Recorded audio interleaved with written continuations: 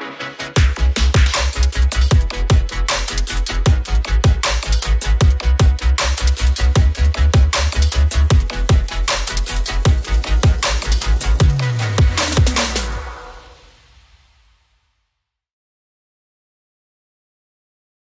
Un grand merci pour votre présence déjà. Un grand merci aussi au centre de gestion du Calvados qui nous a accueillis euh, dans ses locaux euh, tout à fait adaptés à cet événement.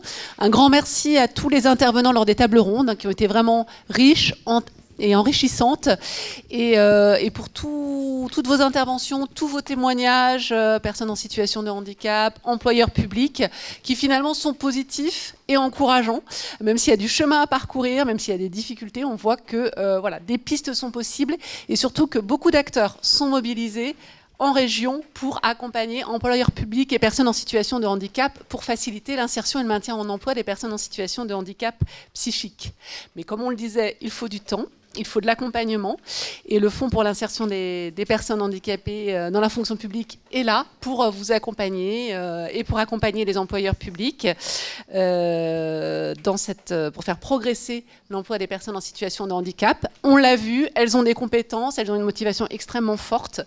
et surtout, donc n'hésitez pas à nous solliciter via notre site dont on vous a parlé. Vous aurez toutes les informations sur les aides euh, qu'on peut vous apporter. Vous n'hésitez pas aussi à solliciter Jacques de Pesquidou, directeur territorial handicap, qui est là euh, voilà, pour euh, vous accompagner et puis vous mettre en réseau aussi avec tous les acteurs du territoire qui interviennent dans le champ du, du handicap.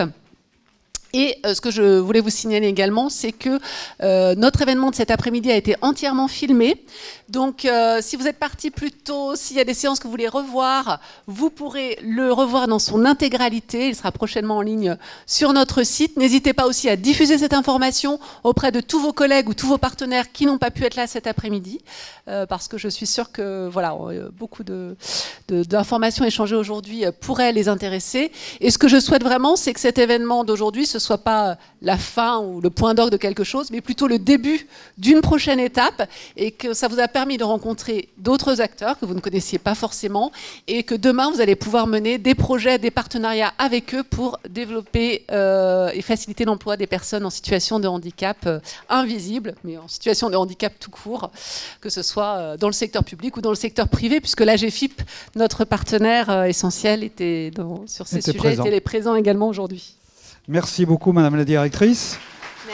Un petit mot, Madame Picnot, en particulier pour votre événement à venir. Oui, merci en tout cas au FIP de nous avoir euh, vraiment invités. Merci Jacques, merci Madame Neuville, hein, parce que c'est une occasion aussi de faire euh, de l'interconnaissance. Et euh, ça, c'est hyper important. Normandie Réhab, nous organisons donc, comme chaque année, un colloque régional qui est gratuit, ouvert à tous. Il sera à Caen cette année. Le 15 juin, il se déroulera au centre de congrès. Donc, cette année, il est axé sur du témoignage des personnes concernées, des proches, euh, du vécu des uns et des autres. Et vous aurez aussi l'intervention de plusieurs professionnels, psychiatres, euh, collègues neuropsy, qui pourront aussi témoigner euh, de leur accompagnement au quotidien et de, de comment ils perçoivent en fait la réhab en 2023 et puis pour les années futures.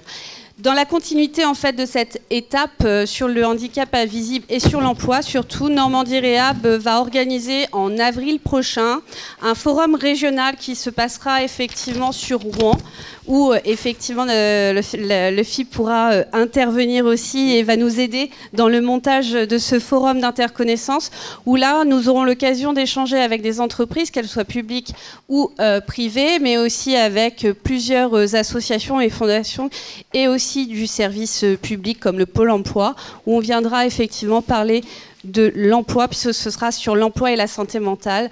Donc euh, ce sera aussi un événement qui sera gratuit et euh, on, en, reparlera et on diffusera effectivement une communication autour de, ce forum au mois d'avril 2024. Merci Madame Picnot. Il reste trois points. Le premier, je n'oublie pas Monsieur Boissel qui attend de pouvoir projeter son illustration, donc je vous en prie qu'on profite de vos derniers travaux. Le deuxième, c'est que nous accueillons Madame Lenourichel, qui est première vice-présidente du département du Calvados, en tant qu'employeur. Donc Madame Lenourichel représente le département qui va signer ce soir avec le FIP une nouvelle convention pour trois ans qui a d'ores et déjà un taux d'emploi de 8,60% d'après ce que j'ai pu regarder, donc très supérieur aux 6% réglementaires, qui continue son effort, et ça c'est un beau message, c'est-à-dire que le 6% c'est très bien pour éviter de payer au FIP, mais au-delà, il y a toujours des choses à faire pour mieux intégrer les personnes, et on a vu que sur les personnes souffrant de ce type de handicap, on avait évidemment tous beaucoup de chemin à faire. Et le troisième point, c'est que je voulais vous remercier d'être venu en tant qu'intervenant, en tant que participant, en tant que teneur de stand. Je crois que c'était euh, une, possibilité une, qu'il fallait saisir. Et votre mission désormais, si vous l'acceptez, ça consiste à aller voir vos employeurs les plus proches euh, et à développer des actions avec eux. Hein, et pour sensibiliser, former. Et j'oublie pas, par exemple, à PSSM, il y avait un stand de formateurs sur les premiers secours en santé mentale qui était là. Je crois que c'est une, on n'en a pas beaucoup parlé, mais c'est une bonne introduction au sujet. Euh, sur des campagnes autour de la reconnaissance de la RQTH, c'est-à-dire inciter les agents qui n'osent pas en parler, mais ça suppose tout un ensemble bienveillant au niveau du collectif de travail, eh à faire part de leurs euh, difficultés, éventuellement à se faire reconnaître, ce qui améliorera en tant qu'employeur le taux d'emploi, mathématiquement, et bien sûr à travailler sur l'insertion, c'est-à-dire le recrutement par toute forme de contrat, de nature de, je dirais, de statut, l'important étant que, on l'a bien entendu, l'emploi est une composante essentielle de la socialisation, de la vie tout court, et donc nous sommes là pour aider euh, nos concitoyens à y avoir accès. Voilà. Et puis enfin, vous incitez également à vous retrouver dans les mois prochains, pourquoi pas par bassin d'emploi, par région, par thématique ou par type de fonction publique, pour élaborer des plans d'action, échanger sur des sujets, voire sur des situations, comme l'a fait par exemple la Hague tout récemment avec euh, le Nord-Cotentin. Euh, donc, et le FIP sera toujours à vos côtés pour vous accompagner, pour impulser et pour continuer à travailler sur cette belle mission. Merci beaucoup.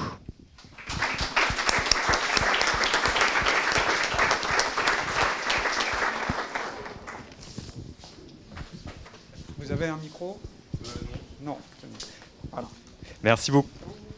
Euh, pour finir, euh, euh, merci de me donner la parole et vous donner une clé de lecture, effectivement, et revenir rapidement, en tout cas, sur les enjeux de cette dernière table ronde.